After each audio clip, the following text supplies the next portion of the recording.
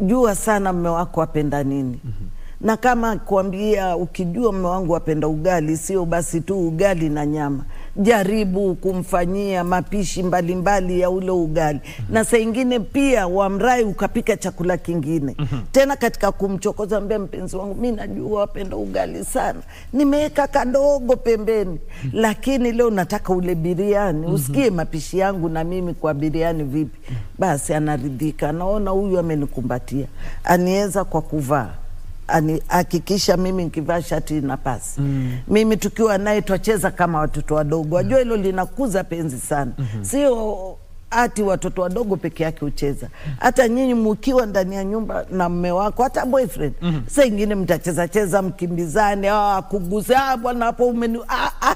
Unaona, mnacheka, mnatoa zile jamsi ziko ndani ya mwili, kwa hivyo ya kupendana. ya kupendana. Mm -hmm. Vitu kama vile vinazidisha penzi sana. Mm -hmm. Sio kila siku ukiingia ndani ya nyumba, bwana ana gazeti ameelekea pande yake, mke naye yuko na simu anaelekea pande yake, mnamaliza karibu masaa matatu hamjajuliana hali wala hamjazungumza.